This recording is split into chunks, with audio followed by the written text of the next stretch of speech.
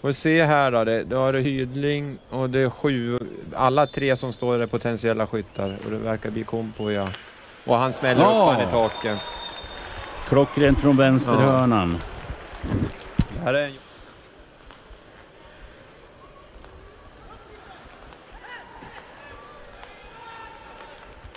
Ja, det är en bra boll. Bra passning.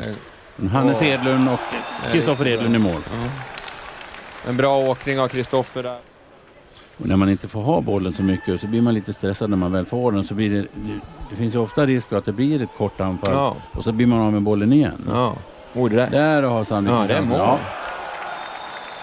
Fantastisk nedtagning av Kristoffer.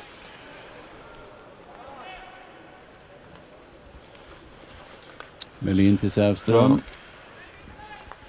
Var han in i mitten mål. kan han komma till skott? Ja. Så att det är ju... Och nu tror jag nog det är kört. Sävström vänder om och attackerar. Mm. Det är straff det. Ja, Ja, det är solklart. Och han tar. Det... ja, han tog han. Han Det är förbe- minuter kvar alltså. Det är ju... Ja.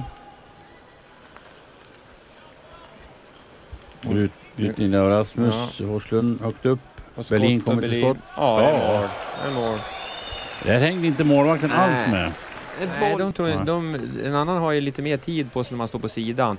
Men, och de är nog så fokuserade. De kan ju liksom vara fokuserade eller... Ja, där kommer den till. Ja, det är mål.